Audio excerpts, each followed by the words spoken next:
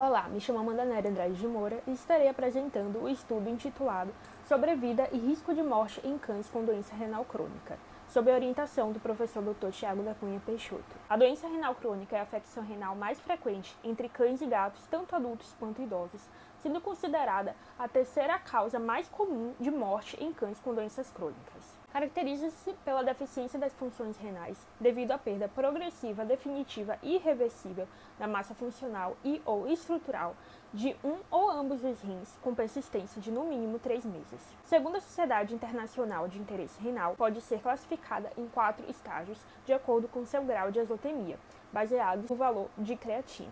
A maioria dos cães com DRC em estágios avançados vão a óbito ou são eutanasiados. Em geral, a sobrevida desses animais varia entre meses até dois anos, a depender da severidade da doença. Estudos acerca da sobrevida global de cães isotêmicos são escassos na literatura e inexistentes no Brasil. Sendo assim, a influência dos delineadores prognósticos no diagnóstico clínico para estimar a sobrevida dos indivíduos acometidos pela doença permanece pouco explorada. O presente estudo teve por objetivo avaliar a sobrevida global de cães com doença renal crônica em diferentes graus de azotemia, a partir da análise de possíveis correlações entre alterações clínico-epidemiológicas e laboratoriais com o maior risco de morte nesses indivíduos.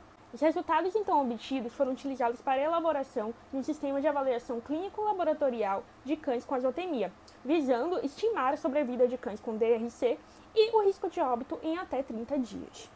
Quanto à metodologia, foram selecionadas as fichas de 40 cães atendidos na rotina do setor de Ospimev e UFBA entre dezembro de 2016 e outubro de 2018 para compor o grupo experimental. Eles deveriam apresentar histórico clínico e alterações laboratoriais compatíveis com a doença renal crônica. Outros oito cães rígidos foram selecionados para compor o grupo controle. Para análise dos dados, os cães foram divididos em três grupos experimentais de acordo com o estadiamento da íris, nos estágios 2, 3 e 4 foram revisadas as fichas clínicas e laudos de exames complementares dos cães incluídos no estudo, sendo coletadas e analisadas informações acerca do paciente e tutor, sintomatologia clínica, exame físico e os resultados de exames laboratoriais obtidos previamente a partir da avaliação clínica minuciosa. A média de sobrevida global dos cães em estágio 2 foi de 401,5 dias, em estágio 3 de 187,4 dias e em estágio 4 de 20,8 dias sendo que a sobrevida máxima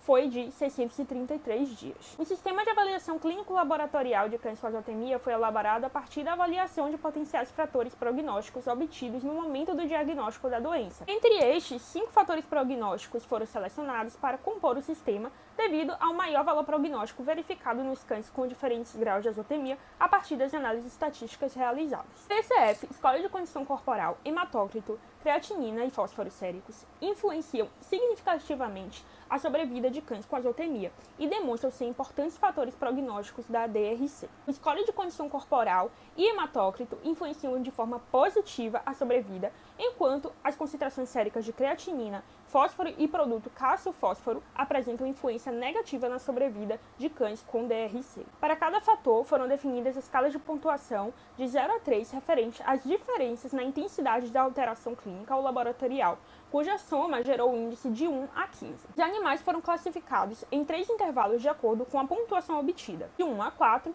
de 5 a 9 e igual ou maior que 10 pontos, as quais foram associadas ao risco de morte, sobrevida menor, intermediária e maior. A partir dessa divisão foram calculadas as médias de sobrevida dos cães nesses intervalos, sendo obtidas as seguintes médias: 481.5, 126 e 56,7 dias, respectivamente, as quais foram adotadas como médias de sobrevida a serem utilizadas para se estimar a sobrevida média de acordo com a pontuação obtida. Também foi verificada a porcentagem de cães que morreram em até 30 dias após o diagnóstico da doença, com índices superiores a 10 pontos, para se estimar o percentual do risco iminente de morte em pacientes com quadros mais graves de DRC. 8 a cada 10 cães com pontuação igual ou maior no sistema apresentaram risco de óbito em até 30 dias.